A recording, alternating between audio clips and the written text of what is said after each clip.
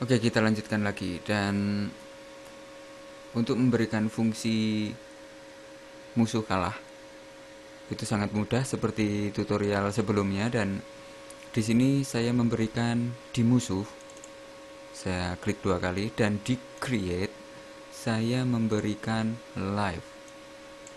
Dan di musuh saya memberikan live 3 saya klik OK dan saya pergi ke peluru dan di peluru saya memberikan saat bercollision bersentuhan dengan musuh. Saya memberikan live. Dan di sini main satu supaya kehidupannya dikurangi satu. Saya aktifkan relatif di sini. Saya klik OK dan saya kembali ke musuh dan di sini saya memberikan caption dan di sini down show lalu di sini live show. Oke semacam itu. Oke jika saya coba saya sudah mempunyai fungsi live dikurangkan. Oke seperti itu. Dan kita lanjutkan. Setelah ini saya memberikan if. Uh, oke ini musuh dan kita memberikan if di peluru. Atau kita memberikan musuh di if di musuh juga bisa. Dan saya memberikan if else di sini. Ada test live dan di sini value 0 equal to saya klik OK.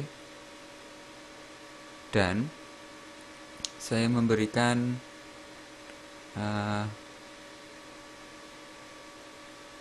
ini.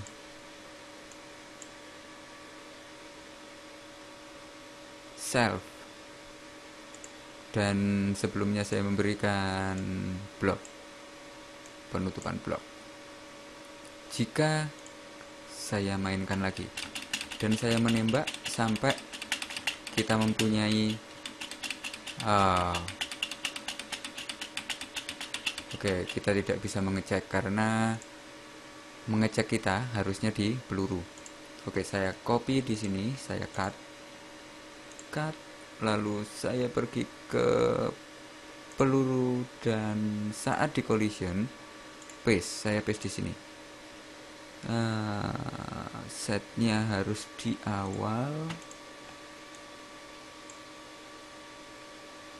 Oke, seperti itu dan saya coba lagi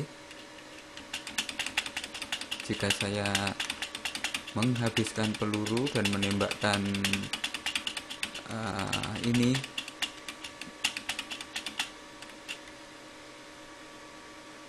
Oke, okay, saya salah di destroy. Di destroy saya memilih objek dan musuh. Saya coba lagi.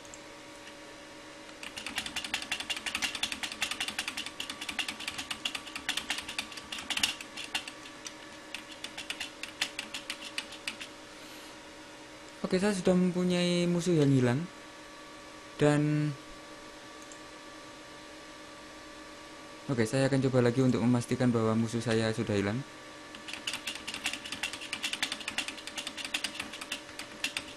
Oke.